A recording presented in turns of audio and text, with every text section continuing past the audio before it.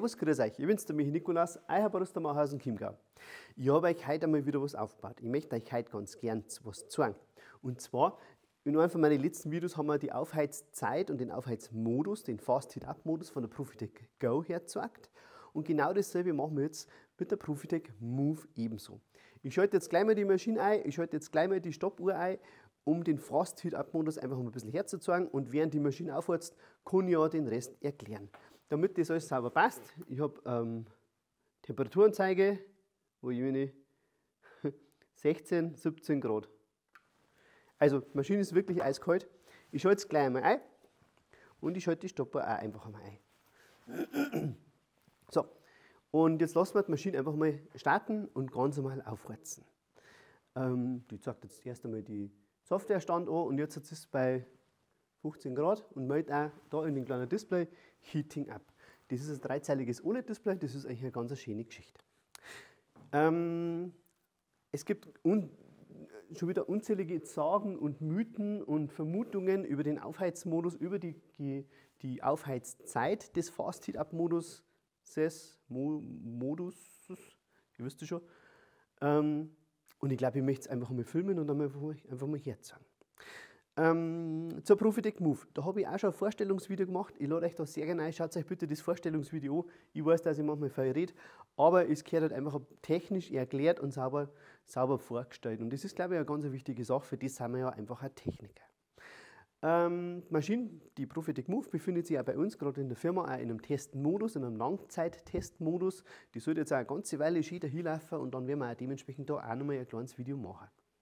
Die Profitec Move ist eigentlich die, die, die ähm, verbesserte, die erweiterte Version von der Profitec 300, die ja damals auch schon als, also, oder nicht damals, die es ja auch als Dualboiler gibt. Und das ist einfach die, wie sagt man das jetzt nicht, die eierlegende Wollmilchsau, weil einfach die komplette Vollausstattung in dieser Maschine drin ist. Deswegen lade ich euch sehr gerne ein. Schaut euch bitte das Video sehr gerne an, die, die Maschinevorstellung Profitec Move. Die Maschine ist ganz kurz zusammengefasst eine wahnsinns Dualboiler-Maschine. Die hat also da hervorn, die hat also da hervorn äh, den, den Kaffeekessel, der direkt auf der Ringbrühgruppe drauf ist. Das heißt, wir haben gesättigte Brühgruppen.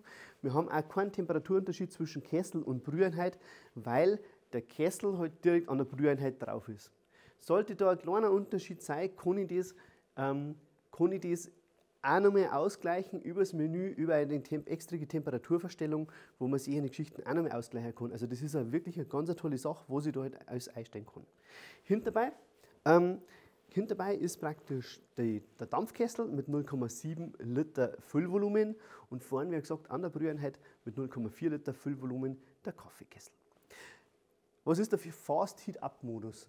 Ihr seht schon, ich bin jetzt da schon bei 77, 79 Grad, jetzt sind wir bei 2 Minuten 30. Das ist jetzt die Temperatur von der Dampfheizung. Man sieht es halt auch. Gell?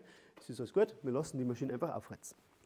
Es gibt einen normalen ähm, Aufheizmodus und einen Fast Heat Up Modus. Der normale Aufheizmodus dauert schon eine Viertelstunde, 20 Minuten, weil halt die Maschine ganz normal einfach aufheizen dort. Und mit dem Fast Heat Up Modus heißt also es steht zumindest drin, irgendwo zwischen 9 und 10 Minuten. Und das wollen wir jetzt einfach gleich heute mal ein bisschen austesten. Wo ist denn da der Unterschied? Ähm, Im normalen Heizmodus müsst ihr euch das so vorstellen, die Maschine heizt ganz normal auf und hört aber bei gewissen Temperatur einfach auf, zum, also Vollgas zum Heizen, also mit 100 Prozent, sondern taktet dann die Heizung über so stückelweise, damit sie sich praktisch von unten an die eingestellte Brühtemperatur hinnähern tut. Das dauert ein bisschen, weil die natürlich takten muss, dann braucht ihr ein bisschen Zeit, dann müsst der Temperatursensor und dann taktet die wieder, wieder ein bisschen weiter. Das ist alles gut soweit und dann ist das alles gleichmäßig, gleichmäßig warm und das passt super. Dauert halt natürlich ein bisschen länger. Ähm, ganz kurz, 3 Minuten 30, Dampftemperatur 97 Grad. Im Fast Heat Up Modus ist es so, dass die Maschine ähm, die Heizungen mit 100% da richtig reinfahren tut. Und zwar ist es eine gewollte Überhitzung, zum Beispiel hier da vom Kaffeekessel, damit wir da eine gewollte Überhitzung vom Kaffeekessel auf 120 Grad. Das heißt, wir haben im Kaffeekessel 120 Grad durch die wesentlich höhere oder schnell, äh, durch diese Überhitzung erwärmt man vorne diese Ringbrühgruppen, das ist ja auch messingmassiv, wesentlich schneller als wir mit 90 Grad.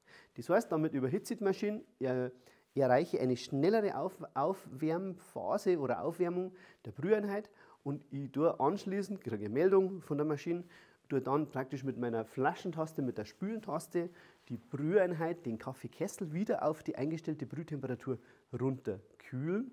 Habe also damit die Brühgruppen geflasht, die Brühgruppen einheitlich, schöne Temperatur gekriegt und bin also damit wesentlich schneller. Also dieses Fast Heat Up Modus, kurze Überhitzung, Flaschen auf, den, auf die eingestellte Brühtemperatur ist eigentlich eine ganz quantig coole Sache.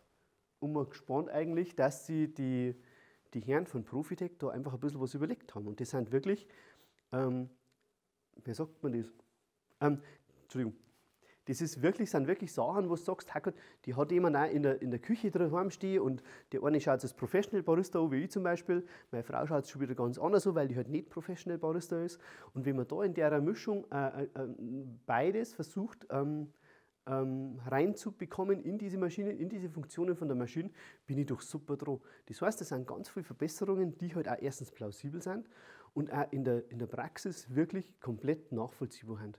Ihr wisst, wir sind Techniker, wir erklären auch sehr gerne technisch und ähm, wenn ich es technisch erklären kann und wenn es wirklich physikalisch also nachvollziehbar ist, dann hat die Sache einfach über Hand und Fuß. Kurzer Zwischenstand, wir haben jetzt bei 5 Minuten 30 und wir haben jetzt da eine Dampftemperatur von 130 Grad. Passt einfach gemeint, jetzt kommt, das kommt dann jetzt gleich mal so daher. Eigentlich schaut das schon gar nicht so schlecht aus. Die Maschine hat hinten einen 3 Liter Wassertank, so groß, dass ihr auch mit den Händen reinkommt jetzt und auch alles sauber machen könnt. Die Maschine hat, also die Profitec Move, die ganz neue Profitec Move, hat also dieses amerikanische Nussbaumholz mit dabei. Die hat Edelstahl natürlich, ist ja ganz klar, allerdings nicht verspirgelt, sondern tatsächlich matt poliert. Und das finde ich schon richtig, das ist schon richtig edel. Also kommt vorbei, wir haben es bei uns im Showroom stehen, wir können es auch jederzeit einschalten, herzeigen, überhaupt kein Problem. Ich finde es cool, schaut klasse aus. Von den Funktionen her ist es auch nochmal eine ganz schöne Geschichte, weil die halt einfach über dieses ganz kleine dreizeilige Display ganz viele schöne Sachen zum Einstellen hat. Ich kann jede Brühtemperatur für, jedes Taste, für jede Tasten, Taste so einstellen, wie ich es gerne hätte. Ich kann die Präinfusion für jede Tastentaste auch so einstellen, auch wieder, wie ich es gerne hätte. Ich kann einen Temperaturunterschied einstellen, zwischen, falls es einen Unterschied gibt zwischen Kessel und Brühgruppe, die hören ja aufeinander. Die Maschine hat ein Reinigungsprogramm drin, die hat einen Kalender drin, wann sie sich einschalten tut, eine Reinigungserinnerung. Also die hat im Prinzip eine richtige Vollausstattung drin und das für einen Preis von knapp unter 2000 Euro. Eine Wahnsinnsausstattung und das muss man auch gleich dazu sagen, in einer wirklich bärigen Qualität. Kommt vorbei, mir lügen euch da nicht an. In der Richtung bin ich Maschinenbautechniker. Ich kann schlechte Qualitäten, wir reparieren seit 18 Jahren Kaffeemaschinen. Wir wollen keine schlechten Qualitäten haben. Wir wollen das auch nicht verkaufen und wir wollen auch nicht euch eine Maschine verkaufen, wo sie euch anschließend die Finger aufschneidet. Ich weiß, da reite ich gerne umeinander.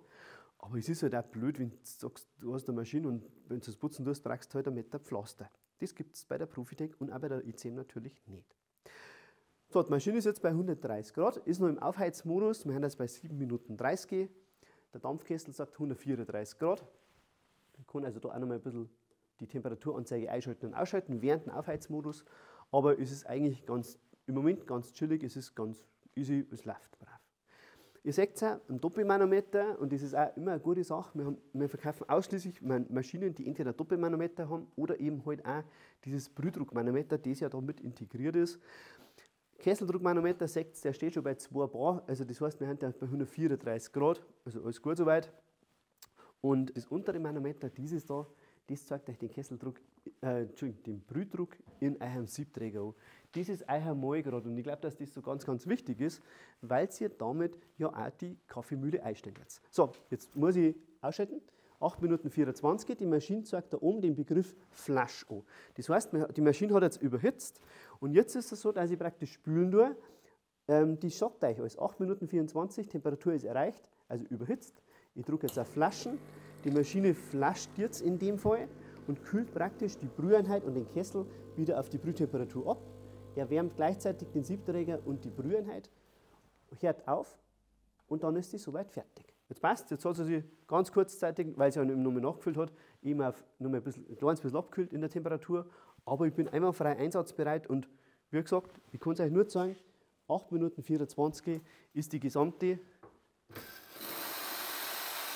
Maschine heiß. Und genauso soll es doch eigentlich auch sein. Also ich glaube, mehr oder weniger sagen kann man es nicht. Es gibt, wie gesagt, unzählige Sagen und Mythen. Und ich möchte das nicht, dass es so Sagen und Mythen gibt, sondern lieber ist mir, wir stellen es einfach hin, filmen es, stoppen es und zeigen es euch halt einfach. Ich glaube, transparenter kann ich es nicht herzeigen. Wenn es bei, bei Kesseltemperatur, die pendelt sich aber nur ein kleines bisschen ein, das ist auch nur so, so halbe Minuten oder sowas, von 88, 90 Grad und Dampftemperatur von 133. Ich habe im Kaffeekessel jetzt eine Brühtemperatur von eben 89 Grad, 90 Grad eben halt auch eingegeben. Also, ich glaube, transparenter kann ich es nicht jetzt sagen. Ich mag das sehr gern. Ich hoffe, euch gefällt das Video ein bisschen. Ich hoffe, es bringt euch ein bisschen. Ich hoffe, es ist ein bisschen informativ für euch. Wir freuen uns riesig drüber, über jeden, der gefällt mir druckt, der uns wirklich gern abonniert. Wir wollen in der Richtung sehr gerne ein bisschen bekannter werden, weil wir Techniker haben. Und dass eine Maschine schön ausschaut, das ist alle dem Kunden überlassen und, und da halten wir uns relativ zurück. Aber wenn wir etwas technisch erklären, kann man erstens komplett verzeihen, das ist, glaube ich, ganz wichtig zu erwähnen. Und wenn die Technik sauber passt, also das ist jetzt unser Part als Techniker, dann haben wir eine Maschine, die langlebig verbaut ist. Und das haben wir bei der Profitec definitiv. Ein Dualboiler mit einer Wahnsinnsqualität, da können andere Marken mit, unter zwei, mit knapp unter 2000 Euro in der verbauten Qualität nicht annähernd mithalten. Ich glaube, das darf man einfach einmal sagen, weil kommt es vorbei. Das ist so stabil und so schön gebaut. Wenn es ist, machen wir einen Deckel auf. Überhaupt kein Ding. Die Profitec Move ist ab Q1, das heißt irgendwann im Januar, Februar oder sowas, ist die dann lieferbar. Es gibt schon sehr, sehr viele Vorbestellungen. Wer in diese Reihenfolge reinkommen möchte, kommt bitte sehr gern vorbei. Ihr seid sehr gern willkommen bei uns im Showroom. Machen wir vielleicht einen kleinen Termin aus, sagt kurz Bescheid, schreibt eine E-Mail und wir schalten euch die Maschine ein und wir zeigen euch natürlich auch alles an der Maschine. Vorbestellungen werden entgegengenommen. Wie gesagt, ähm, die ersten Lieferungen fangen so Q1, Januar, Februar an, also so grob geschätzt jetzt einfach einmal. Also das ist das, was wir vom Hersteller heute halt auch gekriegt haben. Es sind schon sehr, sehr viele Maschinen vorbestellt und die werden natürlich auch erst beliefert und danach wird auf Lager produziert und dann kann man einfach auch lieferbereit dementsprechend sein.